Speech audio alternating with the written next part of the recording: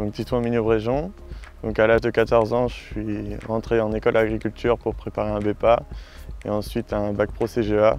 Ensuite, j'ai terminé cette formation par un certificat de spécialisation en production laitière, en contrat d'apprentissage en groupement d'employeurs. Deux de ces patrons sont mes patrons actuels.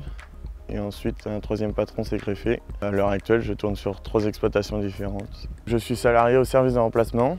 Donc ce service existe en cas d'absence des exploitants agricoles, en cas de maladie, de vacances, ou d'absence juste une journée. Donc je suis embauché à mi-temps au service de remplacement et à mi-temps au groupement d'employeurs. On a fait ce choix-là avec mes patrons car ils ont beaucoup de responsabilités extérieures. Quand je suis présent sur la ferme, dans ces cas-là, le mi-temps service de remplacement leur permet de payer moins cher de l'heure. Mes patrons ont beaucoup d'absences pour des raisons syndicales. Ça permet de les remplacer lors de ces journées-là quand ils ne sont pas là.